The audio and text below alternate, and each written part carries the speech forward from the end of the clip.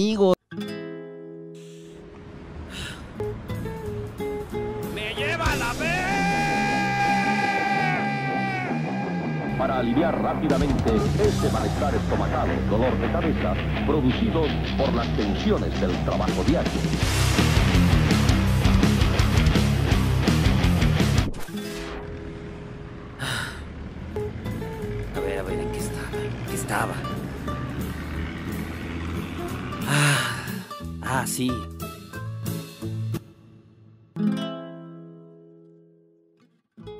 ¿Por qué nuestras mejores anécdotas de la universidad nada tienen que ver con estudiar, muchachas y muchachos? ¿Por qué cuando recordamos la vida universitaria pareciera más un recuento de excesos que de lo aprendido? Y no quiere decir que usted no haya aprendido nada o que haya pasado de 4 a 5 años ebrio, aunque hay muchos que sí y al parecer la cruda no se les ha pasado. Tampoco quiere decir que la universidad sea un club social donde de paso se aprenden algunas cosas, aunque es normal ver a gente llena de ron repasando teoría de la constitución.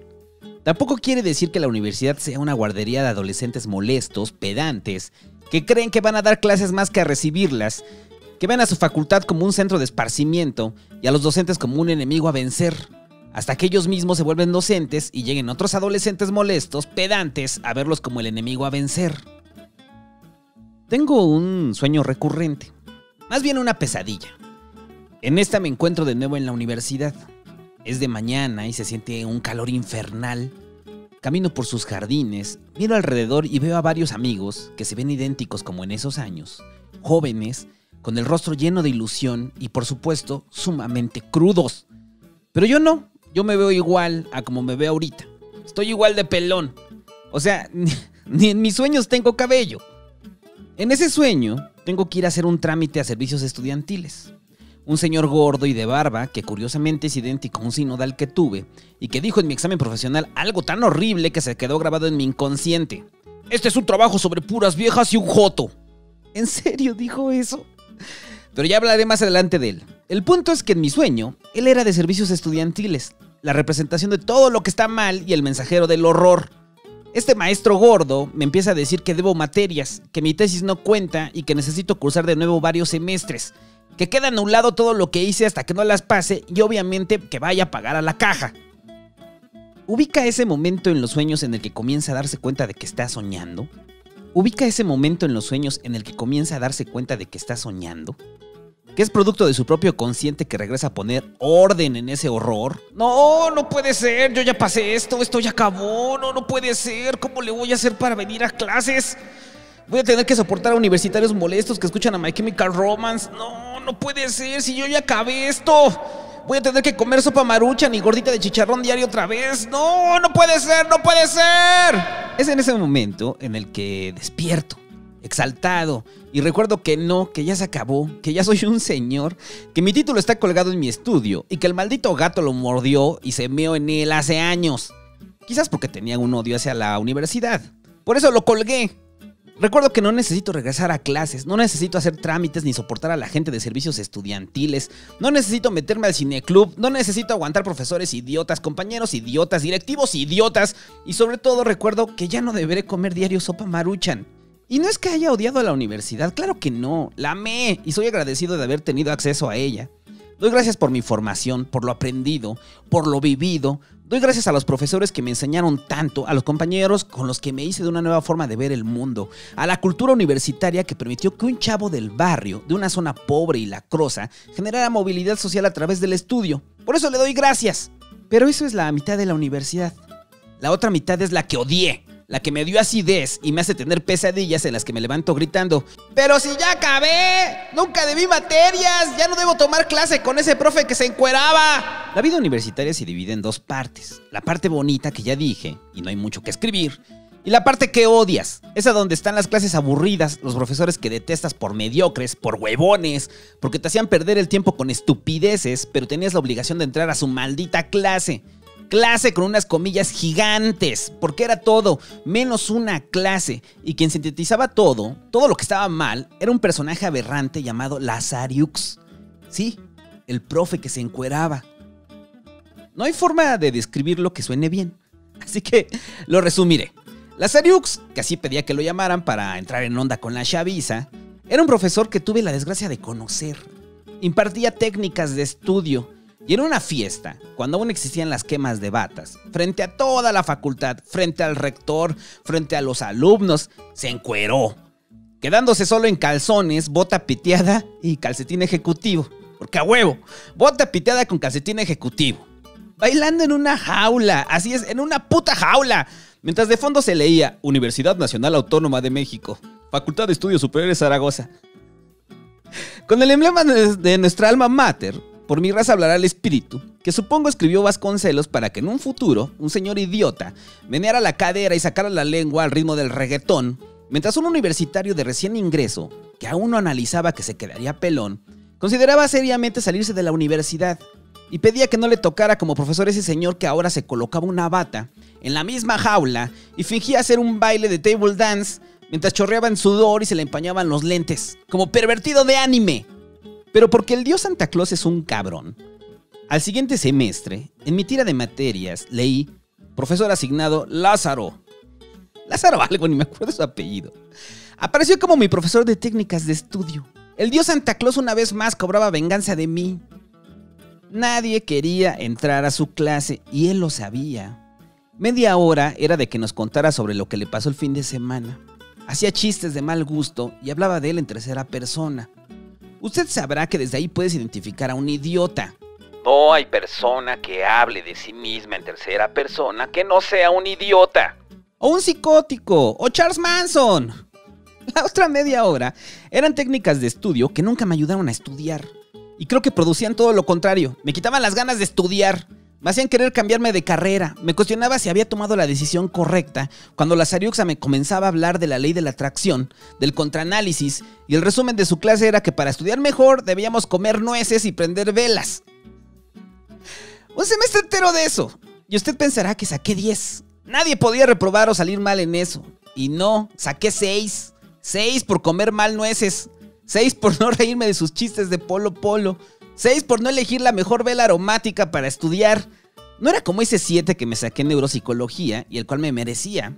Pero ahí no tenía que aprenderme las áreas del cerebro involucradas en el lenguaje. No, señor. Solo tenía que comer nueces y oler velas y saqué 6. En ese entonces no lo ponía en perspectiva, porque era un morro de 19 años que tenía la intención de coger como conejo. Y no se pongan moralinos. Todos sabemos que el sexo y la universidad van de la mano. Y en lugar de dar técnicas de estudio, deberían de dar técnicas para maximizar el orgasmo en un salón de clases. O en el pasto, o en el hotel más cercano a la facultad. En ese entonces era un adolescente que tenía ideas raras sobre la educación y los docentes.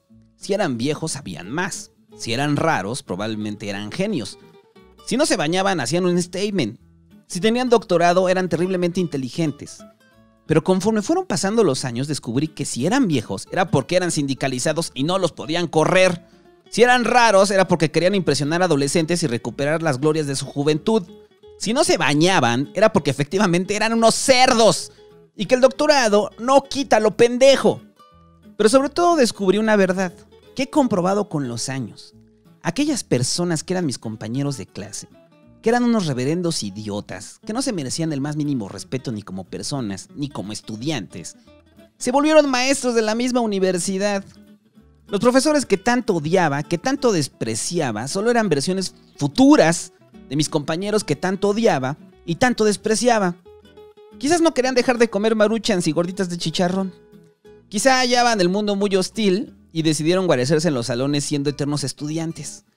Quizá querían extender la adrenalina, la vida de exceso universitaria, donde no está tan mal visto, como en una oficina, o quizás simplemente se les presentó la oportunidad de enseñarles a otros, de contarles chistes de mal gusto, de hablar de la ley de la atracción y bailar encuerados en una jaula. Los profesores que son unos idiotas eran estudiantes idiotas. Porque los que eran estudiantes brillantes, no los que sacan 10, que no significa nada más que usted cumplió.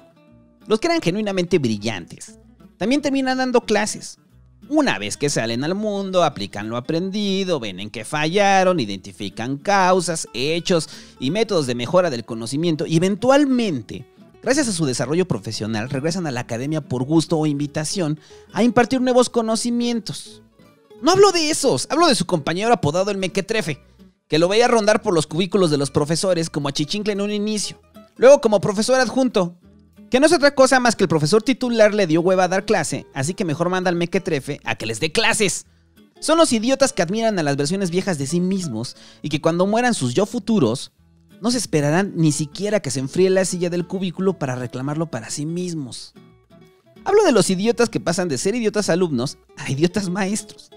Como si tuvieran pase automático. Pase automático por ser pendejo. La profesora que como alumna no se destacó en nada, pero ahora da clases. El profesor Mequetrefe que cuando era estudiante caguameaba en un bar de mala muerte intentando ligar a las mujeres de primeros semestres y ahora como docente caguamea en el mismo bar de mala muerte y también intenta ligar a las mujeres de primeros semestres.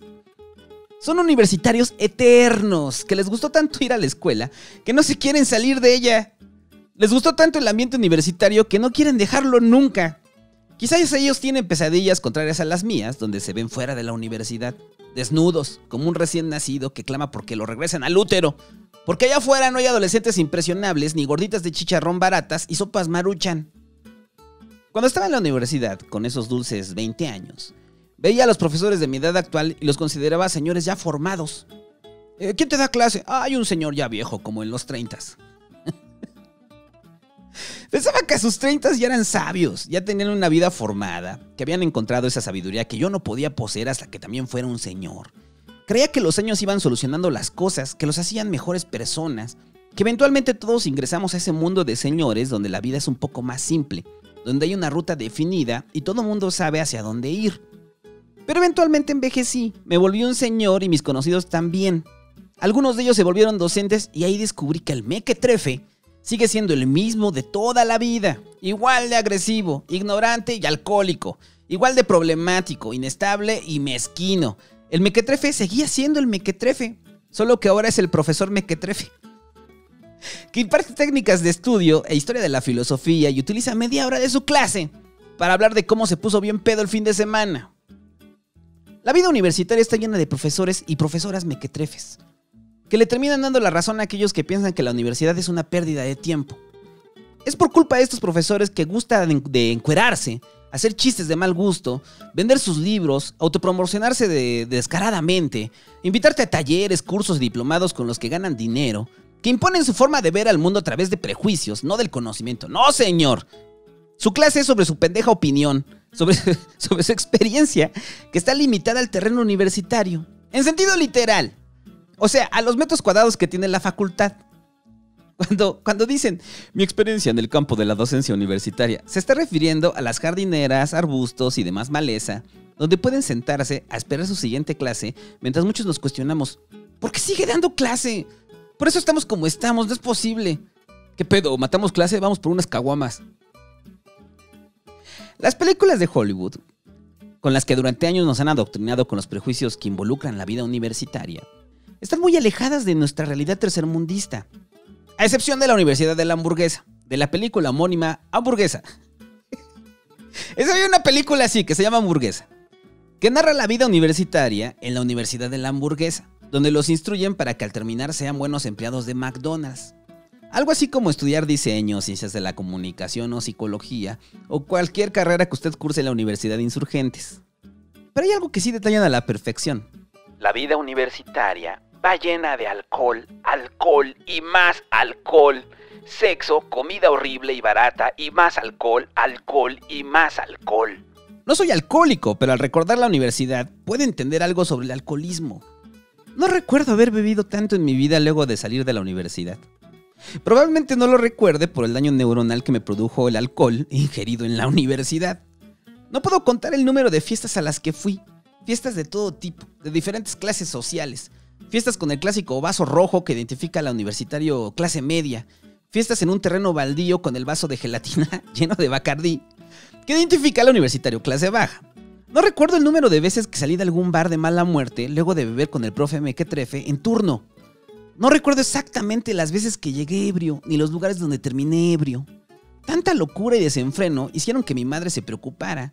Yo creo que por su mente pasó meterme a una clínica, una clínica de rehabilitación para pobres, o sea, el anexo, para que me llevaran mis chanclas y una barbacoa los domingos. Porque para empezar, yo ni bebía. Cuando entré a la universidad no bebía, lo juro, ni siquiera me gustaba la cerveza. En la prepa le daba un traguito y ya, solo para socializar, para sentirme malo, Pero hasta ahí. Fue hasta que entré a la universidad que un día caluroso, de esos donde se te pega la ropa, donde el concreto produce ese efecto óptico que hace parecer un horno a las calles, fue ese día que un amigo de toda la vida me invitó una cerveza, una caguama. Estábamos curiosamente esperando nuestras copias del seminario. Si usted no es pobre o de universidad pública, le explico. Cuando uno es pobre no le alcanza para comprar un libro de ediciones Pay 2. Y en ese entonces los escaneos y la lectura en digital eran más inaccesible. Si le estoy diciendo que no teníamos para libros, menos teníamos para una laptop. Así que los pobres íbamos a centros de fotocopiado, alrededor de la facultad donde incluso ya sabían qué libros eran, y los mismos profesores nos mandaban ahí. Siempre pensé que se llevaban comisión, pero nunca lo pude comprobar. Quizás porque estaba muy ebrio. Era un círculo perfecto de crimen. Era ilegal. Sí. Era piratería. Sí. Violentábamos las leyes más básicas de derechos de autor. Sí. Hasta fotocopiaban la hoja donde decía claramente, prohibido reproducir este material sin autorización previa del autor. Era un nivel de cinismo tan grande que incluso te ofrecían volúmenes completos de la obra de Freud en copias. Pero si algo hemos aprendido es que siempre se puede hacer más ilegal lo ilegal y nos esmeramos en ello. Si se dedica al narcotráfico, pues extorsione también. Si adultera el alcohol, pues también venda cigarros chinos. Si vende tacos en la vía pública, pues que sean de perro. Si trafica con plazas en el gobierno, meta a su sobrino y luego lo pone a, a vender alcohol adulterado adentro de la oficina. Si ya vende copias ilegales de libros, venda cerveza y cigarros de forma ilegal. Fue así que una señora puso copias y cervezas. Beba ilegalmente mientras espera sus ilegales copias de libro. Era una visión de, negocio siniestra y con más colmillo que los vendedores ambulantes que aparecen con paraguas impermeables antes de que se sienta la primera gota de lluvia. Paréntesis. No tengo forma de comprobarlo, pero estoy seguro que los vendedores ambulantes controlan el clima, así como Tormenta de los X-Men.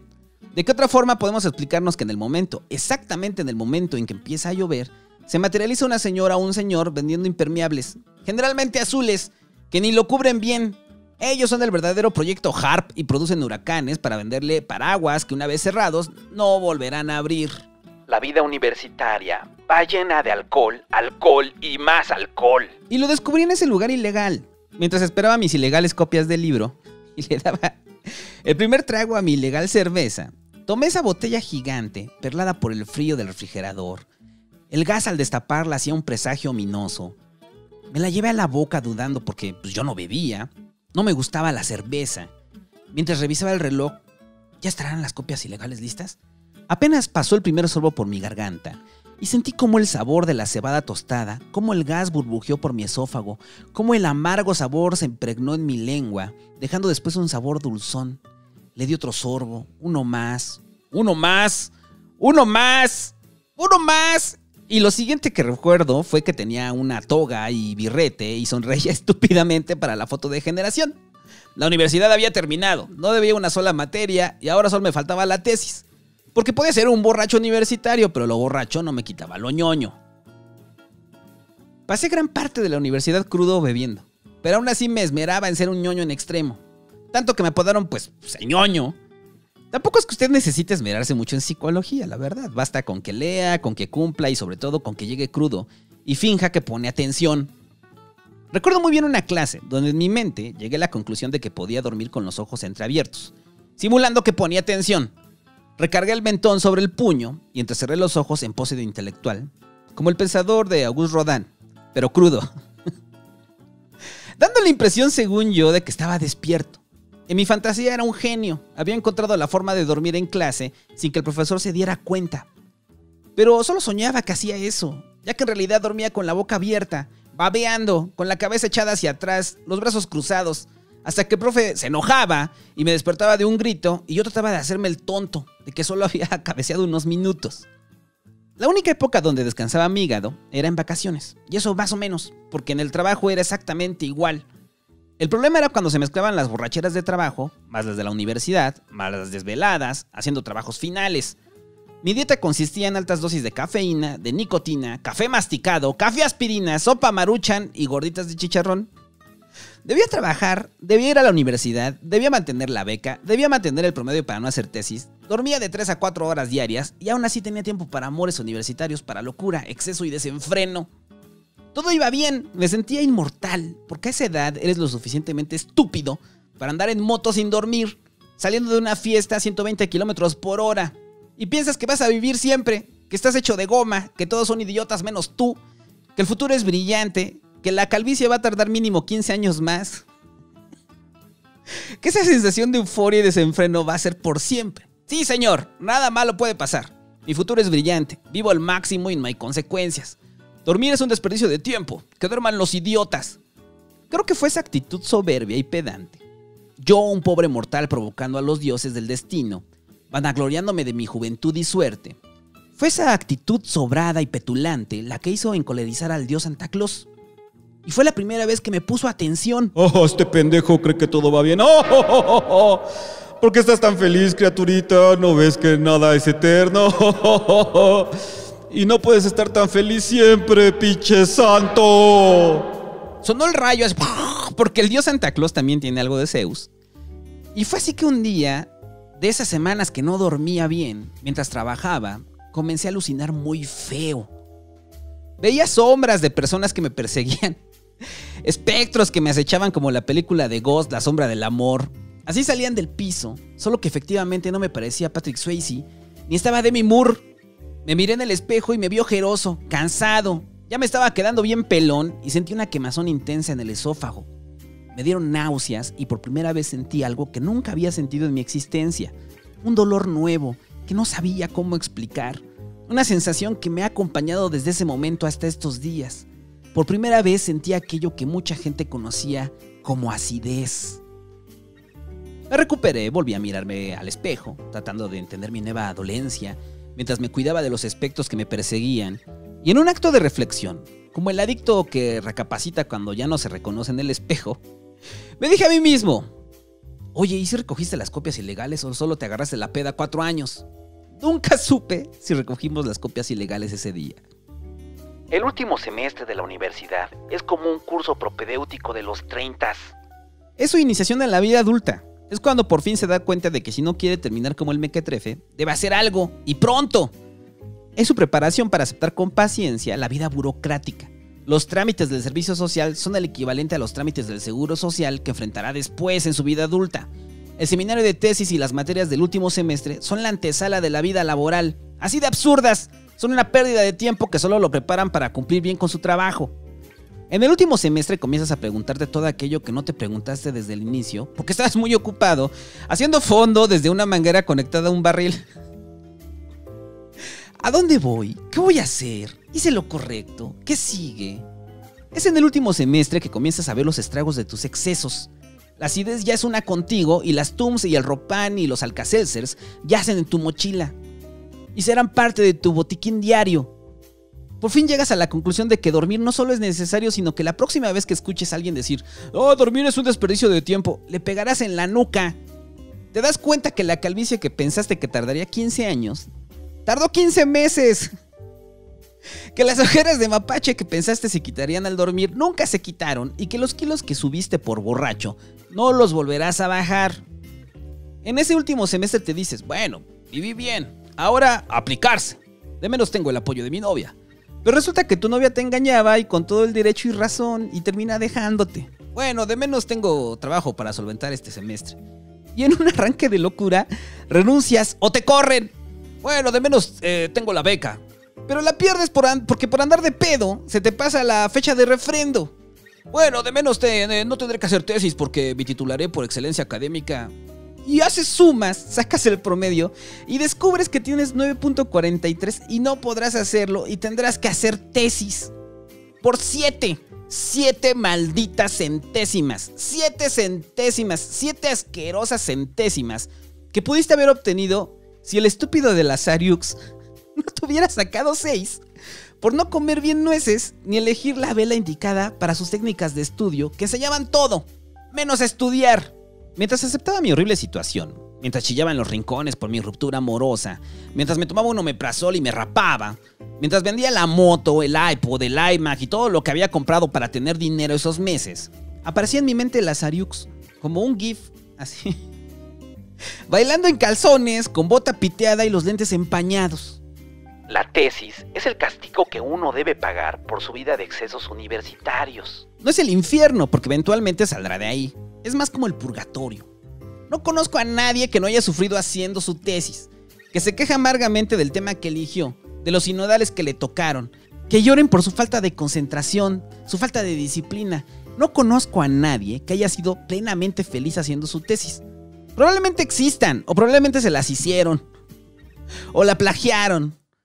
Perdón, perdón, citaron, citaron. Sí, sí, no, no plagiar. Citaron adecuadamente en Napa. No, no, claro que no. Citar en Napa no es un plagio, señor. No, claro que no. Alguna vez un profesor, no Lazariux, que sigue bailando en calzones en mi mente, un profesor de esos que admiraba, que sí me formó, que me iba a entrar a su clase porque era un reto intelectual. Ese profesor me dijo, no te claves con tu tesis, nadie la va a leer, a lo mucho tus sinodales y eso quién sabe. Ahora me hace sentido, pero en ese entonces no. En ese entonces creía que mi aportación al conocimiento era relevante, que mi tesis no quedaría olvidada, que sería consultada por un incipiente pelón de segunda generación, que al leerla hallaría un cofre de conocimiento. Quería darle relevancia y sentido para no sentirme culpable de que por mis propios excesos tenía que escribirla. Una vez terminado el semestre, comencé a escribirla. Vendí todo y me recluí como un monje en la biblioteca. Como había vendido mi computadora para alimentarme de maruchans y gorditas de chicharrón, escribí la tesis con un teclado infrarrojo y una pan. Fueron días asiagos, me paraba temprano y me iba a escribir, a leer, a recopilar fichas, comía gordita, un cigarro, un café y regresaba a escribir, a leer, a recopilar fichas.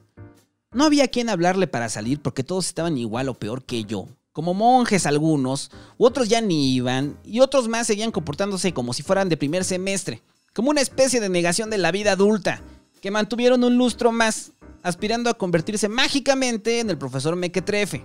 Así viví medio año, encerrado en una biblioteca.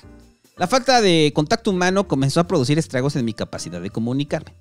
Era como un náufrago al encuentro de un navío años después. Si entablaba charla solo podía pronunciar yo, sí, santo, tesis, tesis, apa, apa, terminar ya.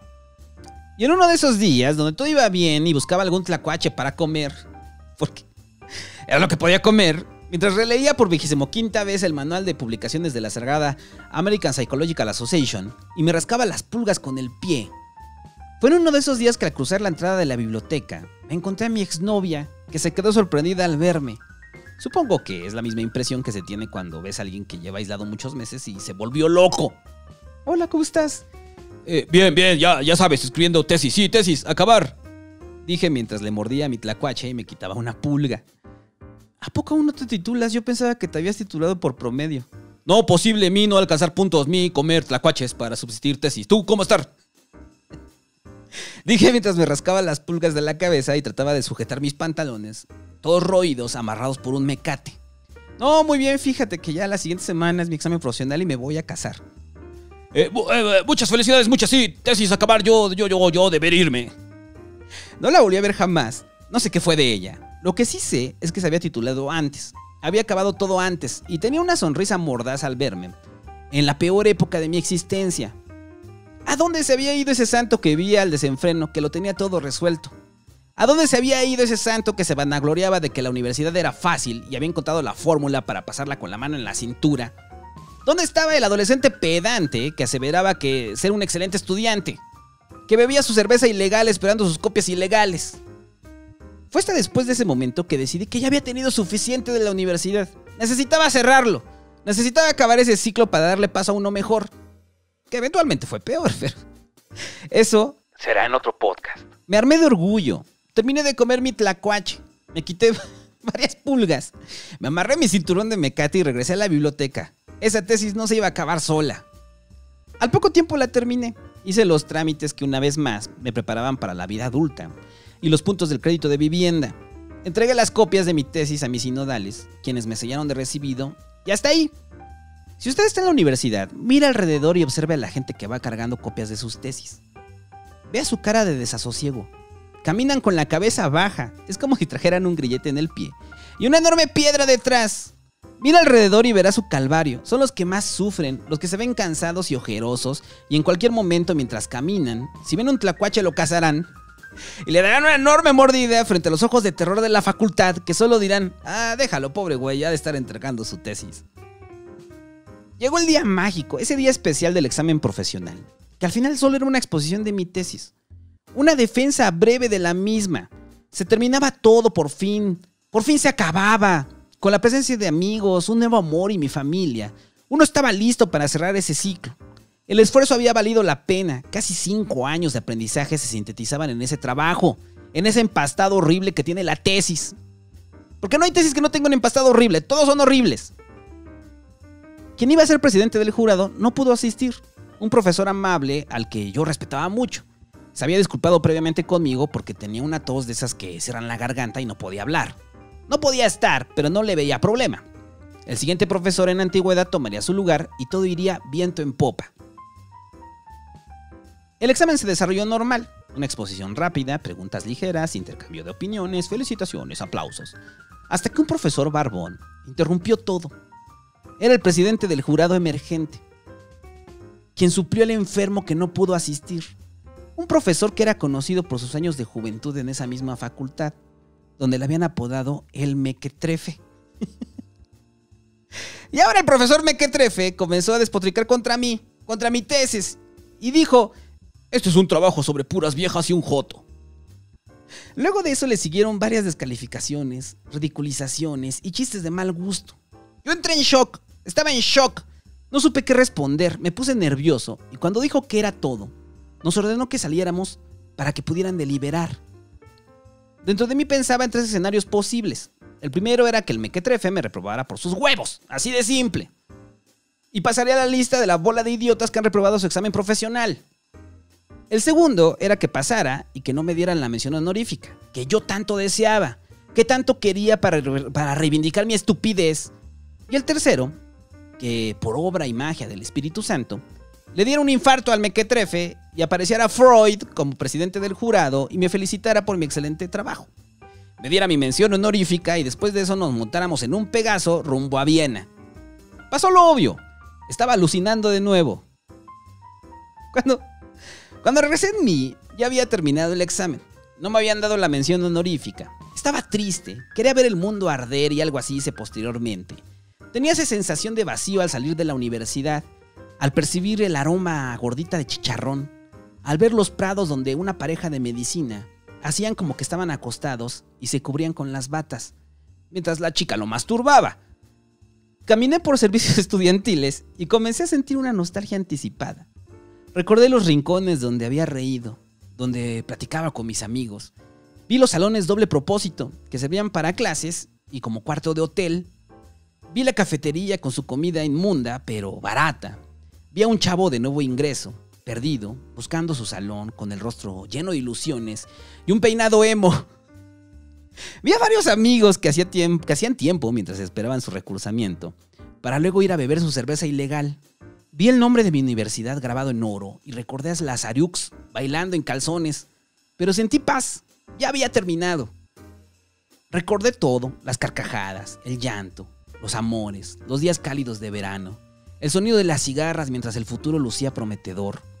Recordé y me recordé como adolescente cuando puse el primer pie en esa facultad, con 18 años y no sabía todo lo que iba a vivir, la gente que iba a conocer, el aprendizaje que iba a tener.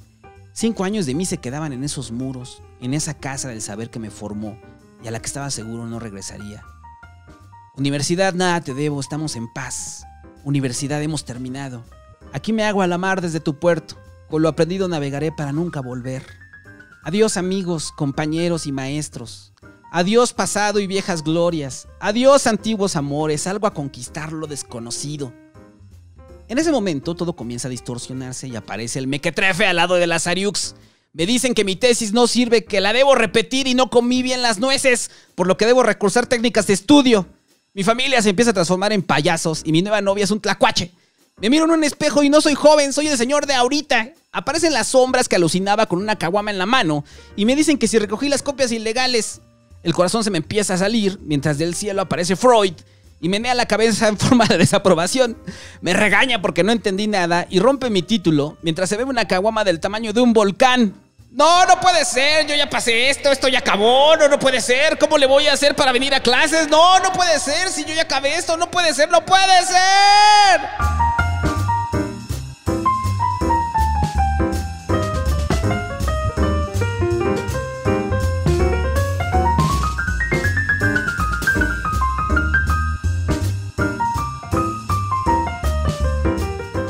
Muchas gracias a toda la gente que comparte, que comenta, que obliga a otros a escuchar este podcast, que probablemente lo escuchen en la universidad. si usted es de Fe Zaragoza, no me, no me señale. eh, o señale a Lazariux. Y este programa es traído gracias a los maravillosos Patreons de febrero, muchachos. A África eh, Leazar, a Carlos Murcía Mora, a Fernanda Mendoza, a Emilio Zaragoza, a Cocusa, a Alex Arcón, a Lucero de Los Ángeles Hermosillo Galaviz, a Carlos Cortés y a Eduardo. Eh, quiero dejar claro que recuerde que por programa, como van cayendo los nuevos Patreons, es como les voy dando eh, reconocimiento aquí en el podcast. Y gracias a todos los Patreons reginaldos, recuerde que para que haya créditos tiene que ser de sobrecitos de repam para arriba. También si usted quiere eh, programas exclusivos, eh, como Mi Gato Me Da Ideas y que va a ser uno por mes, pues vaya a Patreon y ahí puede aportar. Y si no lo quiere hacer, pues no lo haga. Nadie lo obliga. Va a haber contenido gratis para todos, siempre muchachos. Pero si quiere contenido exclusivo, pues vaya a Patreon. Y si no quiere hacer nada de eso, pues comparta este podcast, suscríbase en YouTube, dele like y todas esas pinches chingaderas que la gente pide que hagan. Y ya, nos vemos pronto. Adiós. Acabe su tarea de la universidad.